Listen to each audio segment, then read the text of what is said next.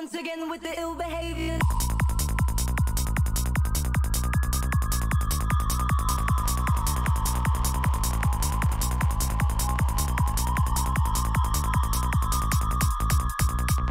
Yo, what is up YouTube? Welcome back to another video. My name is Joel from EZ Engineering and today we're going to be talking about how to create some interesting textures and atmospheres without actually synthesizing them. So we're going to be using iZotope Iris for this example. It's a great tool, it's incredible. I've only just scratched the surface, but what I love about it is that it gives you this kind of interactive frequency content device or where you can kind of select which frequency of the sample you're using to obviously play out and then you can manipulate that in certain ways and everything like that. So yeah that's why i use it. It's it's really really cool. So obviously this is the sound that i've just made. I'm, I'm still working on that same track and i figured yeah let's try some atmos. So yeah let's just run, run you through. So we're gonna open up a whole new iris and then next thing to do is select a sample. So you want to obviously select a sample All right.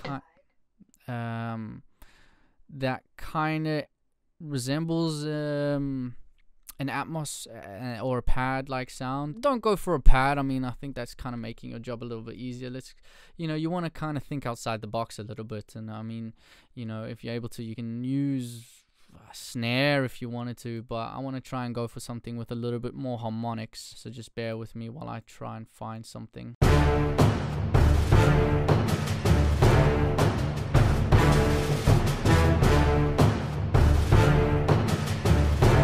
Okay, let's try it with this.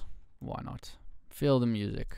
Okay, so here you go. You have your interactive frequency content I was talking about. I mean, you can see that you've got your standard sampler, um, you know, parameters, loop start, loop end, crossfade, offset, you know, delay, everything like that. Now you also got your modulation center where you can add LFOs and and you know obviously emulate that. You got your envelopes, you got your controller, you got your macros, send effects, pitch controls, gain controls, your standard uh, you know amp amplifier kind of controls over here, your master filter and your master effects, and then here's your sample over here. So uh, let's change it to radius RT because I think we want to try and again get that drawn out kind of feel to it, and let's just play around with the playback of it. So we're gonna load in just a nice little MIDI clip over there.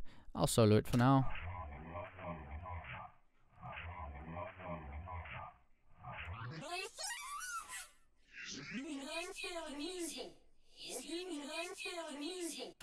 Cool.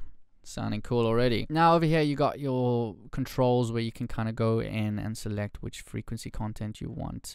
I really like this, so let's try that. You, d- you know, just play around with it, see what works, see what doesn't, choose the one that works.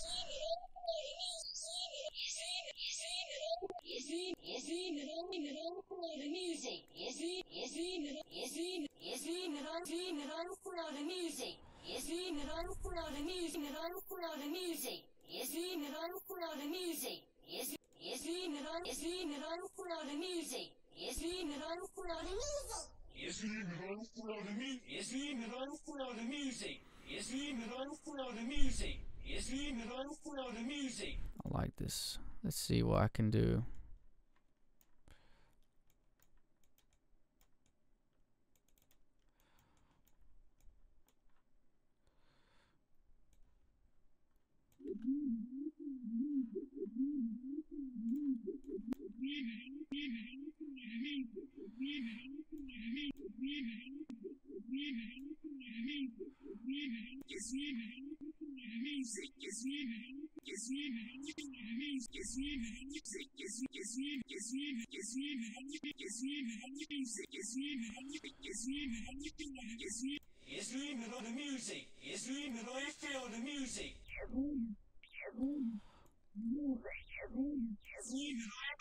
The music is you. The music is you. The music is you.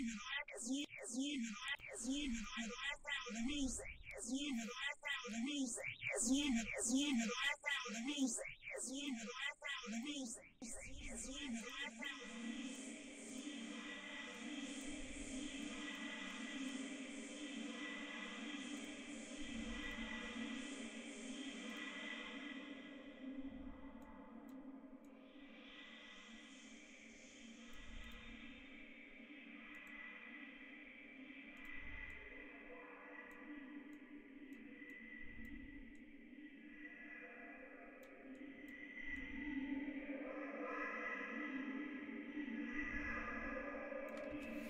Okay, so I've got a little bit of something to work with over there. Let's give it a little bit of context, maybe.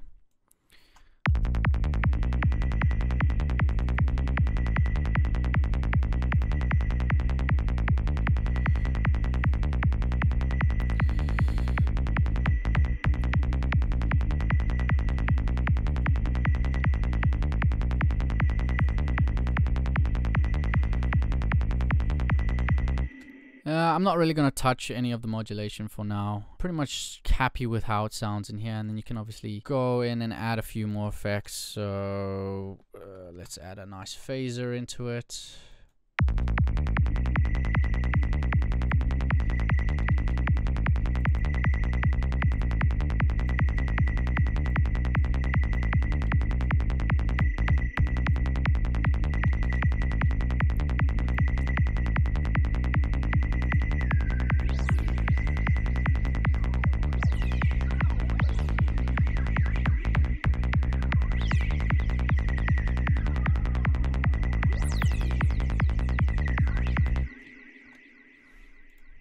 And then we can go in and just kind of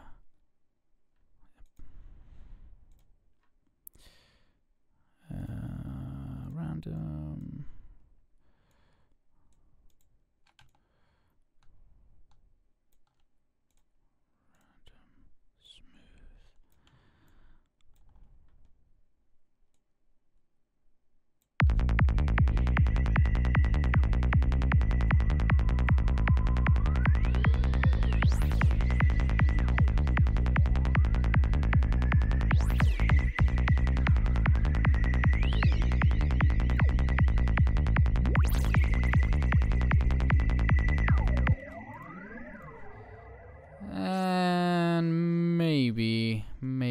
glitch glitch effect.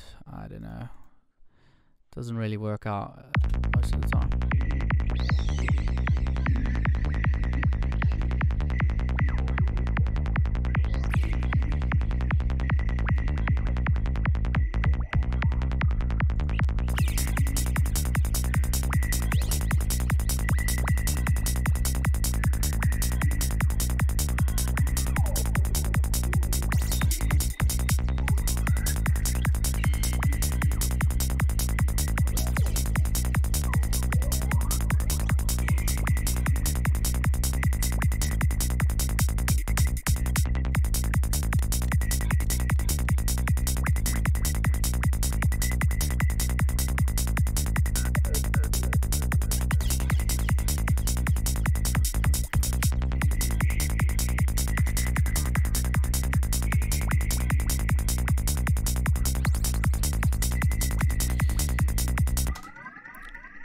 And there you have it. So that's pretty much it. It's a really great technique. I've always used this. I love using this. It's just always given me such interesting and intricate sounds that I don't think I would ever be able to replicate within Serum or, you know, analog or operator or anything like that. I mean, you can do it.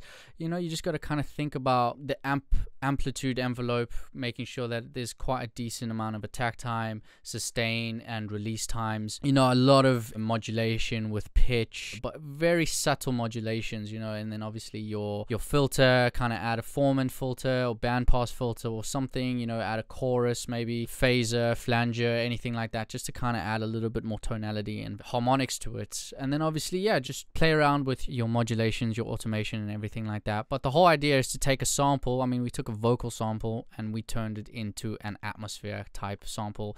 And then you know what you can do is you can just record it down, record down the sounds that you like, and and save them off. And then obviously you can extend on them further. Maybe add, you know, um, another dBlue Glitch, or go and add your stutter edit, and then see what you can come up with there. But yeah, with that being said, I think I'm gonna leave the video at that. I will leave this as a download link so you can obviously download it, but you got to make sure that you have all of these iZotope Iris, uh, your Uhbik uh, phaser and your glitch 2 and trigger gates otherwise you know it's not gonna y- there's no point in downloading it but anyway thank you very much for watching the video if you enjoyed it leave a like comment down below if you enjoyed this and if you want to see other videos please leave a comment and i will definitely get back to you and i'll try and try my best to to do a tutorial on whatever suggestion you give me uh, with that being said smash that subscribe button if you haven't already and also hit that bell button on the side if you want to see more content from me but thank you very much for watching watching, and I'll see you guys in the next one.